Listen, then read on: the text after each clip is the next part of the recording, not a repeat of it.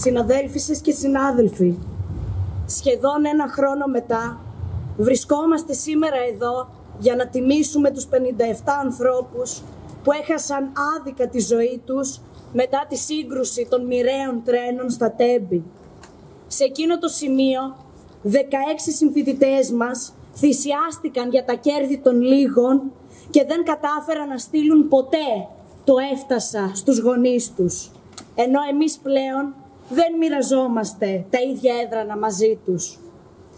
Δύο τρένα βρίσκονταν στην ίδια ράγα και κανείς δεν γνώριζε τίποτα. Οι επιβάτες του μοιραίου τρένου θα μπορούσαν τώρα να είναι ακόμη μαζί μας και εμείς θα μπορούσαμε να είμαστε στη θέση τους. Η θλίψη που νιώσαμε πέρυσι είναι ακόμη εδώ. Είναι ακόμη εδώ όμως και η οργή. Οργή που ξεχυλίζει γιατί δεν ήταν η κακιά η ώρα, ούτε το ανθρώπινο λάθος, αλλά ένα προδιαγεγραμμένο έγκλημα με γνωστούς ενόχους, που ακόμη δεν τους έχουν αποδοθεί ευθύνες.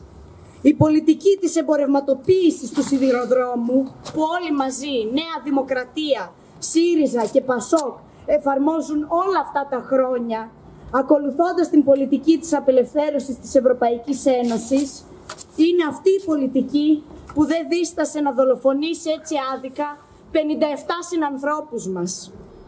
Και ακόμη και έναν χρόνο μετά, η κατάσταση στο σιδηρόδρομο όχι απλά δεν έχει αλλάξει προς το καλύτερο, αλλά αντίθετα γίνεται όλο και πιο επικίνδυνη για τους εργαζόμενους στα τρένα και για τους επιβάτες. Και όλα αυτά γιατί τα κέρδη τους μπαίνουν πάνω από τις ζωές μας. Γιατί η ασφάλεια θεωρείται ένα αδίσπακτο, δυσβάχτεκτο κόστος και γι' αυτό δεν, δεν επιλέγεται. Κάτι που το βλέπουμε καθημερινά.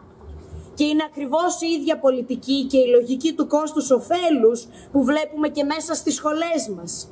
Με την φοιτητική μέρημνα και τη σύντηση να είναι σε αυτή την άθλια κατάσταση, με τις ελλείψεις σε καθηγητές, τον απαρχαιωμένο εργαστηριακό εξοπλισμό και με το νέο νομοσχέδιο για την ίδρυση ιδιωτικών πανεπιστημίων που έρχεται να εμπορευματοποιήσει ακόμη περισσότερο την ανώτατη εκπαίδευση. Το ζήσαμε με τον πιο τραγικό τρόπο το καλοκαίρι, με το λαό να αφήνεται απροστάτευτος στις πυρκαγιές και στις πλημμύρες, ενώ το ζουν καθημερινά οι εργαζόμενοι στους χώρους εργασίας που μετρούν κάθε εβδομάδα τέσσερις νεκρούς. Όμως κόντρα στην εγκληματική πολιτική, εμείς βρίσκουμε ελπίδα στον οργανωμένο αγώνα και τη συλλογική διεκδίκηση. Το αποδείξαμε πέρυσι με τις μεγαλειώδεις κινητοποιήσεις μας και έτσι συνεχίζουμε και φέτος. Τιμάμε τους νεκρούς μας και τον όρκο που δώσαμε, συνεχίζοντας το δρόμο του αγώνα, γιατί μόνο έτσι κερδίζει η ζωή. Λέμε λοιπόν και από εδώ ότι δεν θα επιτρέψουμε το έγκλημα στα τέμπη να ξεχαστεί.